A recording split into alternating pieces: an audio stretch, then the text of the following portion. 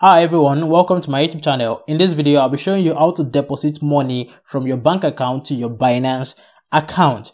If you are new to my YouTube channel, my name is Femi Olaniyan and I make videos on personal finance, cryptocurrencies and the stock market and I sometimes talk about how to make money online. So if you love conversations about this topic, make sure you subscribe to my YouTube channel now and like this video. Please and please subscribe to my YouTube channel. Now, how do you deposit money from your Nigerian bank account to your Binance account? What you need to do is to use P2P trading because you can actually deposit directly from your bank account to your Binance account because banks can no longer do crypto transactions. So all you have to do is on the home page here, you can see P2P trading. So you tap on P2P trading. Then you tap on buy, it's already on buy. Then you tap on the coin you want to buy, maybe it's USDT or BTC or BNB or any coin you prefer to buy. So let's say, for example, I want to buy USDT. Then I'll just um come to this. You can see this funnel icon here. Just tap this funnel icon.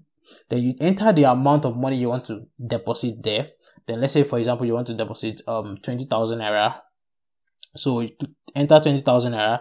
The payment method, how do you want to pay? Bank transfer.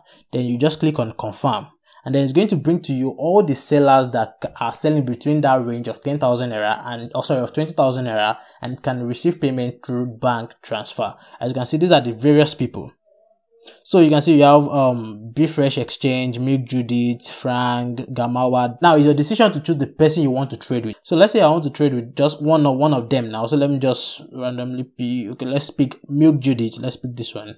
So just click on buy and then here you're going to enter the amount you want to buy 20,000 naira then you scroll down and you can see you can check the terms and conditions of the person you want to trade with so that you are sure that you're not trading with a scammer and actually i made a video on how to spot and avoid scammers on binance p2p i'll drop the link in the description of this video so make sure you watch the video after watching this so that you don't fall into the hand of scammers under binance p2p so you can see this one has its terms and conditions. It said, I'm online, have a nice day. The account name is Judith. My back omitted the other name, please take note, you know.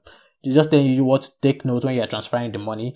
And if you want to, if you also want to see the reviews this person has been receiving from other people the person has traded with, you can just come to trade info, seller's nickname and tap on the person's nickname, make Judith, tap on the person's nickname.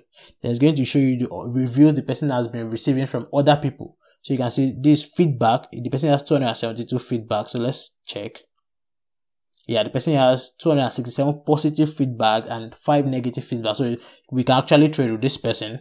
So let's go back. So you also enter 20,000 Naira. And once you enter 20,000 Naira, you click on buy USDT.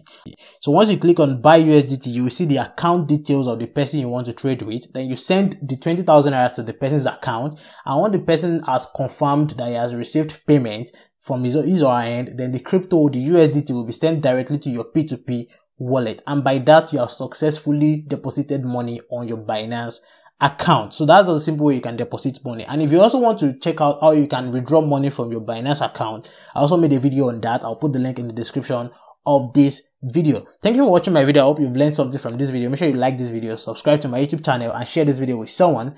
I'll see you guys in my next video. Bye.